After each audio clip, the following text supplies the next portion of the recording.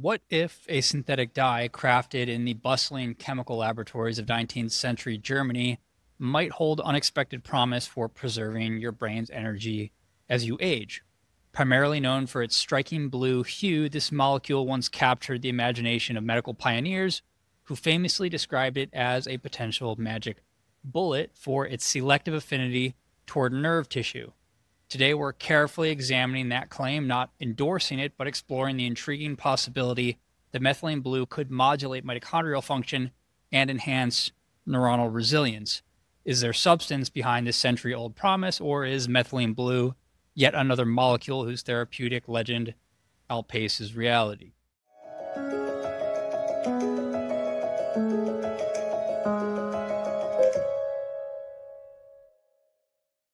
Hello, everyone, and welcome back to Daily Value. Methylene blue is a relatively well established compound initially synthesized as a textile dye in 1876. A decade later, in 1886, a pioneering scientist, Paul Ehrlich, injected methylthioneinium chloride, now universally known as methylene blue, into rodents for experimental purposes. Ehrlich coined the term magic bullet due to its very interesting property of selectively targeting respiring tissue of the nervous system. Initially regarded merely as one among many synthetic dyes, methylene blue's early application by Ehrlich catalyzed a scientific revolution that extended its use into numerous novel experimental applications. Throughout its history, spanning over 120 years, methylene blue has exhibited what can only be characterized as versatility finding roles as diverse as a redox indicator, anti-malarial agent, photosensitizer, supravital stain, and even as a chemotherapeutic agent in oncology. Notably, a renowned neuroscientist named Santiago Ramon y Cajal employed what was known as the Ehrlich reaction using methylene blue in rodents to verify the existence of synaptic spines, confirming that these structures were not artifacts of staining techniques. By the earliest 20th century, psychiatrists explored methylene blue as an experimental therapeutic for schizophrenia due to its affinity for nervous tissue. This foundational observation has since been revisited and expanded into contemporary research, establishing methylene blue as a potential candidate for memory enhancement as well as neuroprotection. Modern clinical applications include exploration in mild cognitive impairment, early stage Alzheimer's disease, Parkinson's disease, optic neuropathy, and various neurodegenerative disorders linked by mitochondrial dysfunction. At a biochemical level, methylene blue is what's known as a phenothiazine derivative capable of undergoing redox cycling between its oxidized form, which is blue colored, and reduced form known as leucomethylene blue, which is colorless. Its unique amphipathic nature, being both hydrophilic and lipophilic, allows a high degree of permeability through biological membranes, notably the blood brain barrier. Its low molecular weight further aids rapid tissue delivery. Given its extensive history, methylene blue remains FDA approved as a treatment for methemoglobinemia. That's a condition where Fe2 plus ferrous iron of hemoglobin gets oxidized to Fe3 plus ferric iron, reducing the oxygen carrying capacity of hemoglobin, which impairs oxygen release to tissues. All other uses of methylene blue are considered off label. Over a century after its initial discovery, the multifaceted properties of methylene blue suggest a renewed revolution in neurotherapeutics, offering promising avenues to address aging related cognitive decline and neurodegeneration driven by mitochondrial dysfunction. Aging in the brain isn't simply about losing cells, it's also characterized by declining cellular energy production. Central to this energy production are mitochondria, the microscopic powerhouses within our neurons. As we age, mitochondrial efficiency falters, ATP production drops, and harmful reactive oxygen species accumulate. This mitochondrial dysfunction is recognized as a primary contributor to cognitive decline and neurodegenerative diseases such as Parkinson's disease and Alzheimer's disease. In Parkinson's, mitochondrial impairment significantly impacts dopamine producing neurons, making them susceptible to cell death due to oxidative stress. Think of these neurons as factories with malfunctioning equipment that produces less energy and more pollution, eventually leading to their closure. Methylene blue seems to offer a unique approach to counteract this issue, not by traditional drug receptor interactions, but by acting as an electron shuttle within mitochondria. At low concentrations, methylene blue can directly accept electrons from NADH at mitochondrial complex 1, becoming reduced to its colorless form.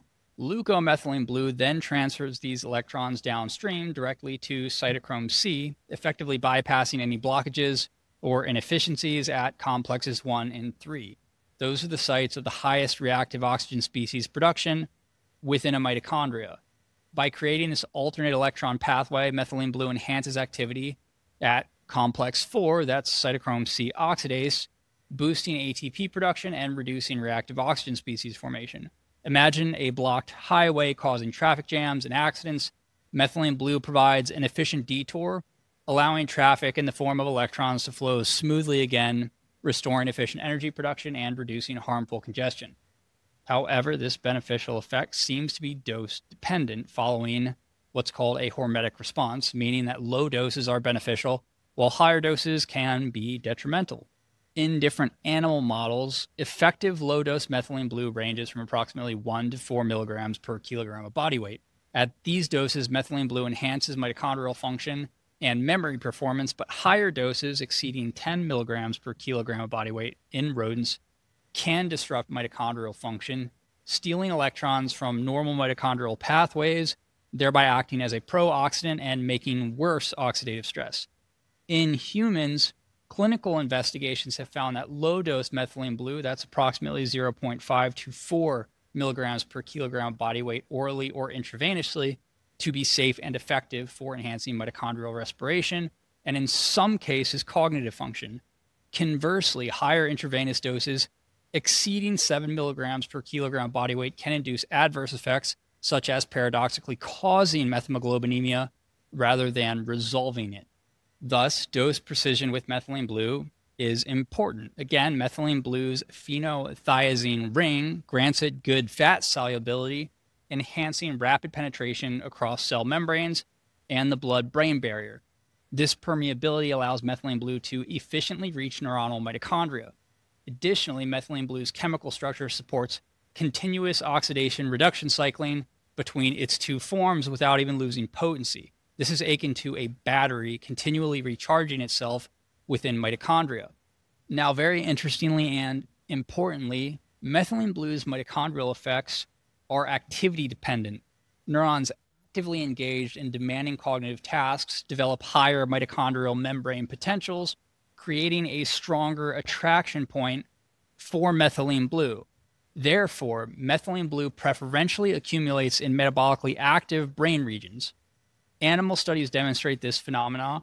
Rodents given low dose methylene blue, that's 1 to 4 milligrams per kilogram, exhibit increased cytochrome C activity, improved oxygen utilization, and enhanced performance in learning and memory tasks, specifically within brain regions heavily involved in these tasks. Cytochrome C oxidase activity is important to remember as that is the best predicting marker of a neuron's ability to produce energy previous hypotheses suggested that methylene blue's cognitive benefits were mainly due to improved oxygen transport via hemoglobin interactions. Remember how it reduces ferric iron to ferrous iron. However, research does show that methylene blue enhances cognitive performance even without significantly changing oxygen transport capacity the true benefit of methylene blue lies not in delivering more oxygen, but rather in improving how effectively neurons use existing oxygen supplies. Think of methylene blue as upgrading the engine rather than simply providing more fuel. Ultimately, methylene blue's strength resides in its nuanced mechanism. It isn't a generalized antioxidant or cognitive enhancer, but rather a precise mitochondrial metabolic optimizer. It supports neuronal function by enhancing intrinsic mitochondrial capacity, particularly valuable under conditions of aging related mitochondrial dysfunction. Animal research has shown robust evidence that methylene blue accumulates preferentially in brain tissue. For instance, studies report brain concentrations of methylene blue approximately 100 times higher than plasma within four hours following oral or intravenous administration in rodents. Interestingly, methylene blue treatment resulted in a notable enhancement of brain cytochrome C oxidase activity approximately 70% higher compared to untreated controls. Such elevation of cytochrome C oxidase is directly correlated with improved mnemonic capacity during tasks involving discrimination learning. Now, memory processing encompasses several critical phases. Those are encoding, consolidation, and retrieval, each facilitated by distinct neural mechanisms. Seminal research by Martinez Jr. and colleagues demonstrated the timing specific nature of methylene blue's effects administering one milligram per kilogram body weight of methylene blue immediately after training, and that significantly improved memory retention in animals performing an inhibitory avoidance task measured 24 hours later. However, administering the same dose either 15 minutes before training, six hours post training, or immediately before testing showed no beneficial effects, clearly indicating that methylene blue enhances memory, specifically during the consolidation phase, this phase dependent effectiveness as a consolidative enhancer is likely mediated through its action in brain mitochondria rather than general neurochemical interactions. Even more interestingly, methylene blue's memory enhancing effects, as seen primarily in animal models, are not limited to one type of memory, but can affect consolidation of any memories that are being processed during the time that methylene blue is present as a redox agent in brain mitochondria. This has been shown in both normal conditions and in those associated with abnormal mitochondrial function. Interestingly, high doses of methylene blue, around 50 milligrams per kilogram of body weight, administered before training in animals, impaired memory retention, suggesting a dose dependent and again hormetic effect. Lower doses, around 1 to 4 milligrams per kg, reliably enhanced memory without adverse side effects, whereas higher concentrations disrupted cognitive processes this paradoxical dose response relationship. It is consistent with methylene blue's redox properties. Optimal low doses likely facilitate electron transport in mitochondria, enhancing cellular energetics and antioxidant capacity, whereas excessive doses could disrupt electron flow, creating oxidative stress as well as metabolic imbalance. As it comes to methylene blue's potential for helping aging brains, especially in Alzheimer's disease, human data does show some very interesting yet complex results. Recent clinical trials have suggested benefits, although findings have been mixed, largely dependent on the dosage used and condition it's been used in. In a major analysis conducted in 2019 by Schelter and colleagues, researchers explored the impact of a methylene blue derivative. This was a stabilized pharmaceutical grade form of methylene blue in its reduced form, surprisingly, they found that lower doses, specifically around 8 milligrams per day, did in fact provide cognitive benefits, slowing cognitive decline and reducing brain atrophy compared to significantly higher doses like 150 or 250 milligrams per day. Interestingly, the lower dose used in this study was initially intended only as a positive control and not actually as an experimental arm, yet it unexpectedly emerged as the most therapeutically beneficial dose, suggesting that when it comes to methylene blue, more might not necessarily be better. This finding was supported by Wilcock and colleagues in 2018. Their study demonstrated that Alzheimer's patients who received low doses of this pharmaceutically stabilized form of methylene blue, just four milligrams twice a day, had consistently better cognitive outcomes than patients receiving the same drug at higher doses or even alongside standard Alzheimer's medications like cholinesterase inhibitors and memantine. However, other studies exploring higher doses tell a different story. For example, Gauthier and colleagues in 2016 found no significant cognitive improvements in patients who were given higher daily doses of methylene blue, ranging from 75 to 125 milligrams twice a day. Similarly, research by Baddeley and colleagues in 2015 showed that although intermediate doses of methylene blue, around 138 milligrams daily, initially seemed promising, although higher doses quickly lost hmm. effectiveness, suggesting a complex relationship between dosage and therapeutic outcome. Further complicating the story, a recent study by Singh and colleagues in 2023 directly measured how methylene blue affects the human brain's energy metabolism using advanced neuroimaging techniques.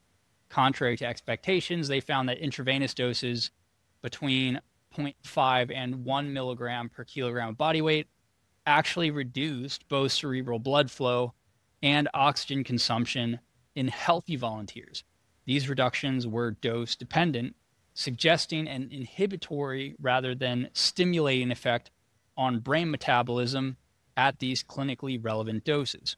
Taken together, these human studies show the complexity of methylene blue's action in the brain. They indicate that possible beneficial effects, especially for cognitive aging, may be achievable, but only within a narrow dosing window. Clearly, the future of methylene blue in clinical practice will depend on careful dose selection, targeted patient groups, and of course, further research. Before summarizing today's episode, it's important to discuss some concerns and cautions associated with the use of methylene blue. The most common adverse effect seen with methylene blue is the bluish green discoloration of urine. Another frequently reported side effect, especially following intravenous administration, can be limb pain. Additionally, methylene blue has notable monoamine oxidase inhibiting properties, meaning it can potentially interact with other medications affecting serotonin. Combining methylene blue with serotonergic medications such as selective serotonin reuptake inhibitors, serotonin norepinephrine reuptake inhibitors, monoamine oxidase inhibitors, or tricyclic antidepressants can lead to serotonin syndrome if the dose of methylene blue is high enough. In humans, methylene blue administration has been shown to cause central nervous system symptoms such as dizziness, confusion, and headaches. Special care must also be taken with children where methylene blue administration has been linked to serious conditions like hyperbilirubinemia, respiratory depression, pulmonary edema, phototoxicity, and also hemolytic anemia. There are known contraindications with methylene blue use. It should not be used in patients who have a known hypersensitivity or a history of anaphylaxis following its previous administration. Additionally, it's contraindicated in patients with glucose 6 phosphate dehydrogenase deficiency due to the risk of developing hemolytic anemia. Very importantly, methylene blue is also contraindicated in pregnancy. The FDA has assigned it a pregnancy class X rating due to the potential fetal complications. At therapeutic doses of 2 milligrams per kilogram of body weight, in an adult with no contraindications, methylene blue is generally considered safe. However, significant adverse effects typically occur when doses exceed 7 milligrams per kilogram of body weight. Serotonin syndrome has been specifically associated with methylene blue doses as low as 5 milligrams per kilogram of body weight when combined with other serotonergic agents. Additionally, caution is required for patients with renal impairment, as methylene blue can reduce renal blood flow. Thus, people using serotonergic medications should probably avoid methylene blue. Currently, no antidote exists for methylene blue toxicity. In the rare event of anaphylactic shock, the drug must be discontinued immediately. In today's episode, we've explored fascinating yet complex role of methylene blue in supporting brain health and potentially combating brain aging Methylene blue appears capable of enhancing mitochondrial function, offering neuroprotective benefits and potentially slowing cognitive decline, particularly at very specific lower doses. However, the clinical evidence remains nuanced, suggesting the need for careful dosing and patient selection. As research continues, it's essential to approach methylene blue with caution, understanding both its therapeutic potential as well as its risks. Clearly, optimizing its use for brain health will depend on further clinical studies, better understanding of dosing windows, and heightened awareness of its interactions and contraindications. Thank you for joining me today on Daily Value. Remember, aging biology isn't just about magic bullets, but targeted and informed strategies to support our body's energy systems. Be sure to subscribe and join me here next time as we continue exploring the science behind health. Stay sharp and stay healthy.